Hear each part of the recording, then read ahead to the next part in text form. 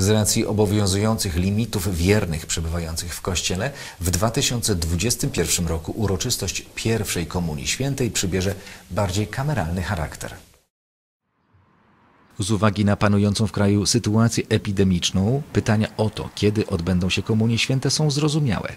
Od lat w naszym kraju uroczystość ta odbywała się pod koniec maja. W ubiegłym roku decyzją biskupów sakrament został przesunięty na miesiące letnie, a w niektórych parafiach odbył się dopiero w październiku.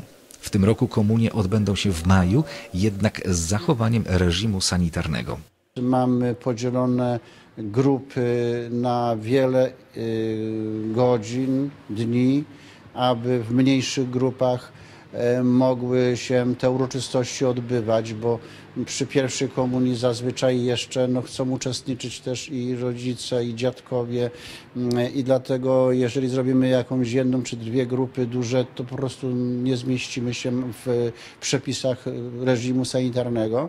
Dzieci przystąpią do komunii wraz ze swoimi klasami szkolnymi. Będą rozmieszczone w ławkach zgodnie z zachowaniem dystansu społecznego. Obowiązywać będą maseczki, które będzie można zdjąć jedynie do przyjęcia komunii świętej.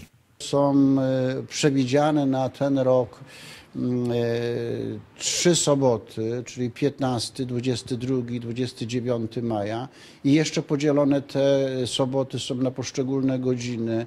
Według przedstawionego harmonogramu luzowania obostrzeń od 15 maja zostanie przywrócona możliwość organizowania imprez okolicznościowych, między innymi Komunii Świętej. Jednak impreza będzie mogła odbyć się jedynie w plenerze i z zachowaniem limitu 25 osób.